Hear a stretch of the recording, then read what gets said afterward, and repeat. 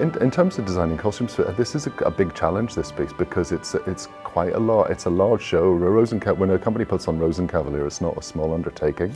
So there's lots of um, lots of layers to the story. Um, so it's a love story. It's about the nature of love. It's about the nature of lust. Strauss analyzes romance from a number of different perspectives. We see that it's got lots and lots of different characters. And so my favorite costume, it's, it's, it's, a little bit difficult because I had quite a lot of fun with all the different characters. Um, if I had to pick one, it would be the Marschallin's third act costume.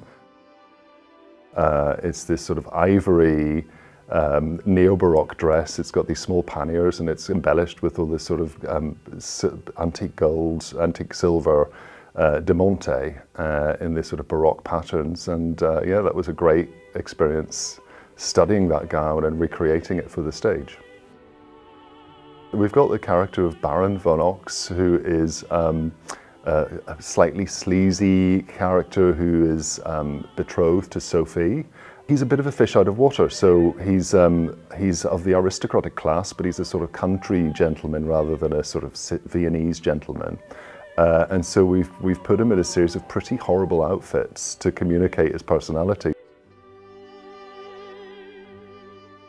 It's set in the 18th century. It was written at the beginning of the 20th century, but it's set in the 18th century uh, notionally. Um, we've updated it to the 1950s, so we've made a bit of an intervention in terms of our interpretation of the piece.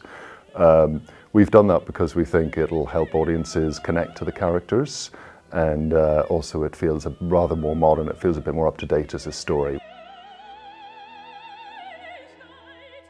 The principal intention behind the, behind the costumes is actually to communicate character and to help the audience understand what they're experiencing and understand the story. So that's kind of our number one consideration.